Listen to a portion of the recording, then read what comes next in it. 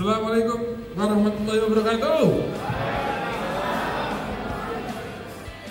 Siap kan? Oke, saya saya yang menggunakan digital marketing, terus kemudian silakan Azra. Kameranya mana kameranya? Kamera, kamera. Saya bisnisnya dari tahun 2003 adalah penyedia penyedia Nah, alhamdulillah udah ngerti kan kalau Instagram itu pakai apa? Hashtag. Sudah, kita kita udah mulai masuk. Tadi kalian semua sudah belajar personal branding kan? Ya. Punya potensi untuk dikepoin. Oke, oke teman-teman ya. Kecuali anda semua ini kayak saya butuhkan nggak bisa segala macam yang dia apa kenapa aku saya punya teman dia jadi suka karena apa?